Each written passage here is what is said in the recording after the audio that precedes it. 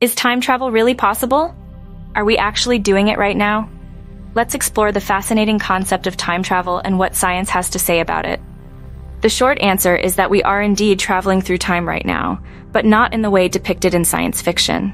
According to space, we are constantly moving into the future at a consistent pace of one second per second. While the time travel depicted in movies and TV shows remains a fantasy, science does justify some degree of time bending. The theory of special relativity explains that time is relative to the observer, and astronauts traveling close to the speed of light age slightly slower than those at rest. Films like Christopher Nolan's Interstellar pay homage to both science and science fiction. The movie portrays time dilation, where a few hours on a planet near a black hole appear as decades to watchers on Earth.